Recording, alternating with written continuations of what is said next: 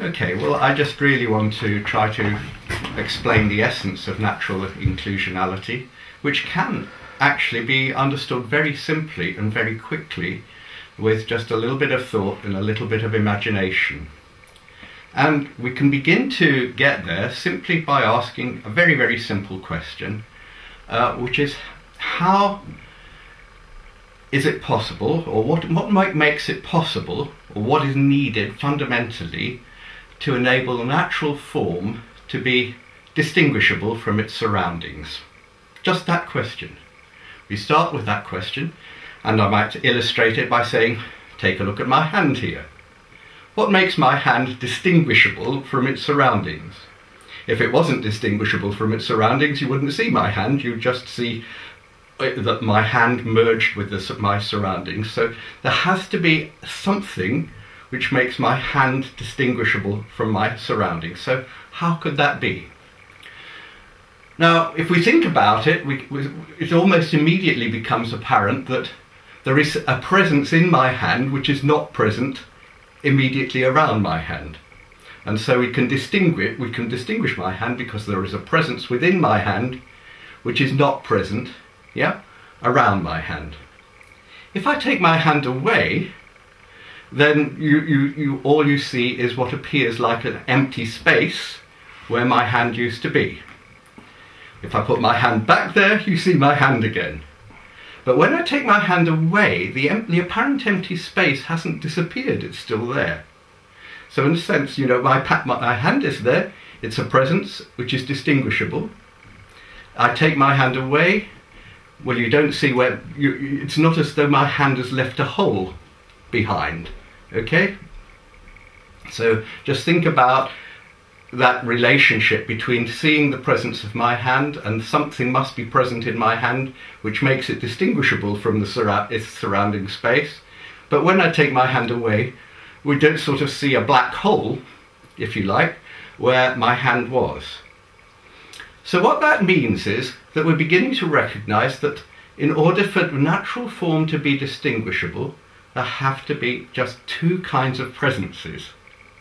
A presence everywhere, which you can think of as a sort of general context or medium, but which is without limit and essentially everywhere. You can just think of that as natural space, which has no limits. And that, that presence is everywhere, but my hand is somewhere. So when, I, when you see my hand, you see my hand as an inclusion of everywhere in somewhere. Quite simple. So we have a kind of presence which is everywhere and a kind of presence which is within my hand. Two kinds of presences, which we might call an intangible presence, which is space everywhere without limit, and a tangible presence or observable or feelable presence within my hand. Now we have to think about the relationship between the tangible presence which is within my hand, and that presence everywhere. We've already said, I can't remove what's present everywhere. Take my hand away, that presence everywhere is still there. Put my hand there, that presence everywhere is still there. It's continuous, without limit. But there is some presence in my hand which makes it nonetheless distinguishable from what immediately surrounds it. So we have this relationship between what is tangibly present and what is intangibly present. Now, we, because that presence everywhere can't be removed, can't be displaced by my hand, yeah, we have to sort of, we, we suddenly realize that the tangible presence and the intangible presence are mutually inclusive. They include each other. They can't be separated. Try to imagine what would happen if we did try to separate them. What if that presence that is within my hand was to become literally devoid of space? Where would my hand be? It would be nowhere. It would lose its dimensionality. It would have no shape or size. Okay, so the space is needed to give my hand shape or size. If my hand isn't there, then we have a formless presence everywhere but we don't see any form then because, because we've removed the tangible aspect. So we've arrived at a recognition that the tangible presence and the intangible presence both need to be present for natural form to be, to, to be distinguishable. It's still slightly puzzling because if you ask that question in the way that we've conventionally been led to think, which separates the tangible from the intangible, and you sort of think, well, there must be, you know, there must be a sort of a totality of 100%, and that 100% must, must when, I, when I put my hand there, some of that totality of 100% space has somehow disappeared and been replaced by my hand. But that wouldn't work. Yeah, it couldn't work because because the two are necessarily mutually inclusive. So how could we arrive at this idea? You know, in the normal way, our normal logic is sort of looks at things in a very static sort of way and tries to sort of think about, uh, you know, a totality of 100%, which is part this and part that. But what I'm talking about can't be part, part tangible and part intangible because the two are mutually inclusive.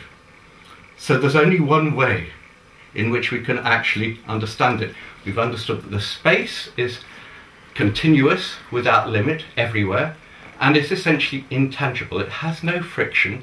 It, it, doesn't resist the presence of my hand. It allows, permits my, present, my hand to be present. So the space, if you like to think of it, is allowance. My hand itself, uh, whilst it might look stationary as a hand here, we have to think ourselves inside my hand to, to what will allow my hand to be present essentially and the space to be present too and be mutually inclusive. There's only way that one way that can happen is that we have to move from a static representation of the world and a static logic of either this or that to a dynamic logic, a flow logic of a dynamic presence, yeah, within and as an inclusion of a stillness which is everywhere. So if I wiggle my hand around like that, it looks like a blur. And that's essentially what we've got. We ha have to have the tangible presences when we look at it at a sufficiently close enough or for, for long enough, it has to be in continuous motion. If it stops for a moment, we've split the one from the other. But so we have to have one of these presences in continuous motion, the other presence as continuous frictionless stillness, and each presence is within the other. If we try and split them apart, then we split time apart from space and matter. Yeah? So instead of that, what we have is time as an inclusion of a continuous mobile presence, which is a natural inclusion of space everywhere we've, origin- we've suddenly arrived at a different perception of natural form from the one that we've all been taught. It's very simple, but we've arrived at that very simple, different perception in which instead of seeing space and boundaries as mutually exclusive and definitive, we now see space and boundaries as continuous. Space is continuous, Boundaries are dynamically continuous as energy or mobility, and each necessarily includes the other. And if they don't mutually include one another, if, if the motion stops, time stops, and the universe collapses. Mm.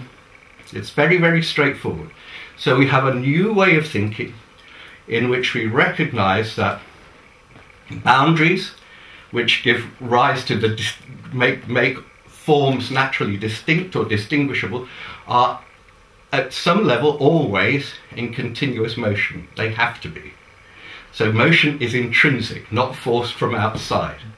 It has to be within, yeah, within whatever, it, within the form itself. It's not pushed. The form isn't being pushed some, from somewhere else. The energy is within the form.